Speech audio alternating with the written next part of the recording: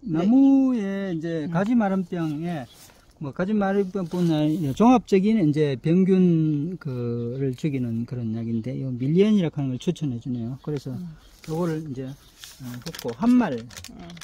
한 말에다가 붓고 그 다음에 물을 타서 이제 예, 주면 되겠습니다.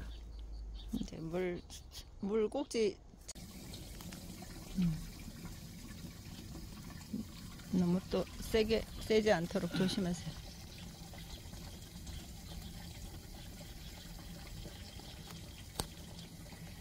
지금 물을 채우고 있습니다. 네, 편백나무가 이렇게 멀쩡하던 것이 이렇게 가지가 누렇게 낙엽처럼 들어가지고 문의해 보니까 가지 마름병이라고 하네요. 아휴, 얘네들이 잘 버티고 살아야 되는데 걱정입니다.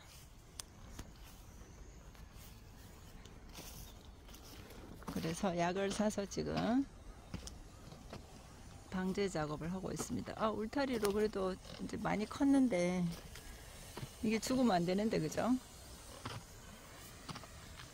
왜 이런 병이 걸렸나 모르겠네요. 그죠? 많이 치워주세요.